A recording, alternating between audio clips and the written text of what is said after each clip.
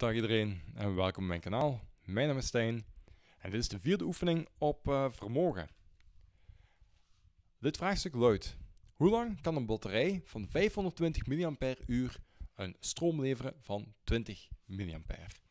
Dus we weten dat onze batterij dat die een hoeveelheid lading bezit die gelijk is aan 520 mAh, wat gelijk is aan 0,52 ampère uur.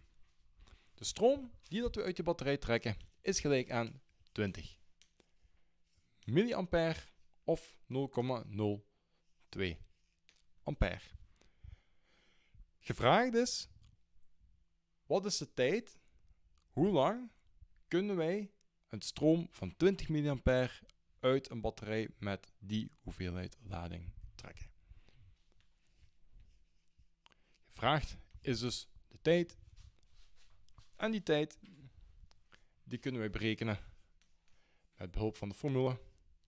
De hoeveelheid lading gelijk is aan de stroom die dat wij trekken maal de tijd. Wat hebben we hier al van? Wij zoeken de tijd. De hoeveelheid lading die weten we. En de stroom weten wij ook. Dus dan hoeven we deze formule nog maar gewoon in te vullen.